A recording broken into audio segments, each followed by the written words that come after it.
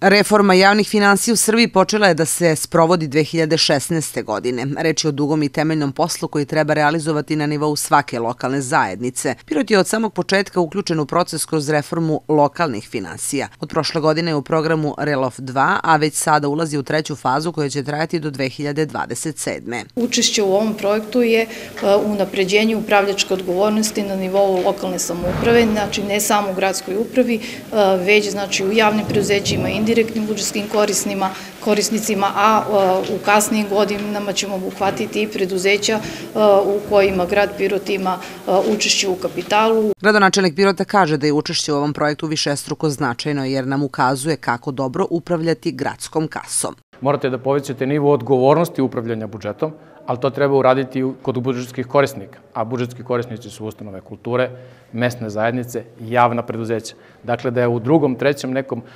nivou i u drugom, trećem projektu Relofa uključujemo i budžetske korisnike, njihove upravne odbore, predsednike upravnih odbora, njihove direktore, njihove službe za računovodstvo, Pokušavamo da kod njih takođe razvijemo sistem interne revizije, koji je veoma važan i u tome nam značajno pomaže ovaj program i ja se nadam da ćemo mi imati i nastavak tog programa jer je pokazao vrlo dobre rezultate. Ana Jolović, direktorka Relofa, ističe da grad Pirot prednjači jer ima interesantan i inovativan pristup upravljanju.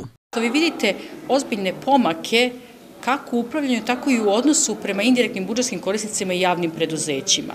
U gradu Pirotu vi vidite jedan ozbiljan pomak da se i nadzor nad javnim preduzećima i nad indirektnim budžetskim korisnicima sistematizuju i objedini.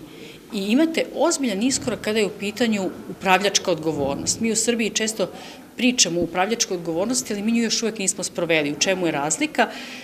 Nije više pitanje toga da li ćete vi nešto sprovoditi po zakonu i nećete potrošiti više novca nego što imate. Pojento je u tome šta ste s tim novcem uradili. I to je sada jedan korak napred za srpske gradove i opštine, gde grad Pirot u dobrom delu prednjači. U narednim fazama sa Pirotom će stručnjaci projekta raditi na unapređenju interne revizije. Mana Jolović kaže da je ovaj proces u Srbiji već pokrenut. Dodaje da je naša zemlja nedavno dobila i 13 mentora za internu reviziju, među kojima je i jedan iz Pirota idemo ka nadzoru nad indirektnim budžetskim korisnicima, isto tako sistematično kao što je nad javnim preduzećima. idemo ka godišnjem planiranju rada uprave, unutar uprave i idemo ka uvođenju upravljanja putem performansi, odnosno moći ćemo da merimo performanse svakog dela uprave i svakog dela tog ukupnog sistema.